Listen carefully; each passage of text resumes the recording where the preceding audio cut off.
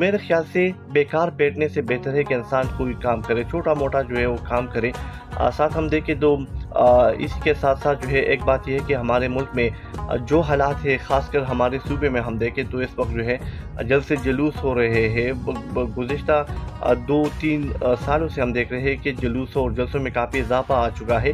तो बात यह है कि जलसे जुलूसों में बेकार में दूसरों के लिए दौड़ करना, बेकार में दूसरों के लिए मुख्तलिफ़ किस्म की अजियतें बर्दाश्त करना, इससे बेहतर है कि हम अपने घर में कुछ काम करें। अगर अपने घर में, अपने घर वालों के लिए एक बेहतर सपोर्ट बने हुए सपोर्ट के लिए बेहतर है कि हम वो काम करें, जो काम हमारे लिए आसान है। शुरुआत जो है, वो इस काम से करें जो आपको इजी लगे। तो मेरे ख्याल से यही पैगाम है मेरा।